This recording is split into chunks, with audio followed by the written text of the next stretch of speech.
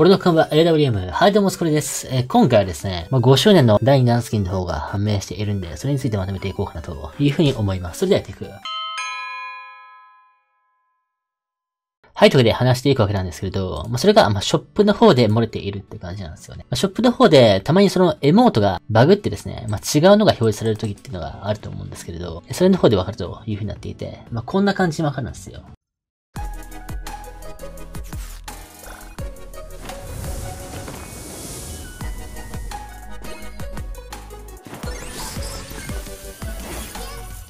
まあそんな感じで出てると。まあこれないっすもんね。このエモード。まあ今年のそのゴールデンウィークのスキンっぽい感じの演出が、まあ若干ね、BGM でありますけれど、こんなんなかったんで、まあそういうことなんだろうなっていう風になっているという具合ですね。はい。まあここでね、なんかキャラクターの方に、ま、話しかけるみたいなのありますけれど、まあこれがあの5周年のキャラクターが、まあ熊のね、ぬいぐるみの方を持っていたでしょう。まあここがそれなんかなっていう、そんな感じの演出も、まああるという具合に、まあ現状になっているという風になっておりますね。まあ今まで結構ね、5周年のスキンに関関しては、出ていない部分っていうのが多かったと思うんですが、まあこれにて、まあ分かったという感じですね。